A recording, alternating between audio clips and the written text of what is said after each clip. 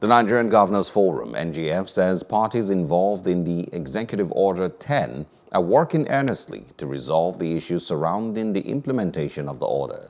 The forum said this in a communique issued on Wednesday night after its 30th teleconference.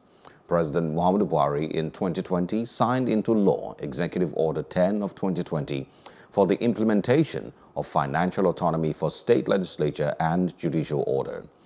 The forum, in the communique signed by its chairman and Ekiti State Governor, Dr. Kayode Fayemi, said talks on the order had reached an advanced stage with the Ministry of Labour, Conference of uh, Speakers and the National Judicial Council. The NGF, however, resolved to call for the immediate dissolution of the Presidential Implementation Committee on the Autonomy of State uh, Legislature and Ju Judiciary. The forum said the Presidential Committee was now acting as a permanent committee, misguiding and overheating the relationship between state government and the other arms of government.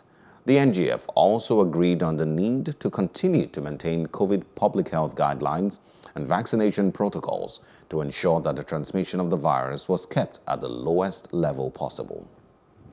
Hello. Hope you enjoyed the news. Please do subscribe to our YouTube channel and don't forget to hit the notification button so you get notified about fresh news updates.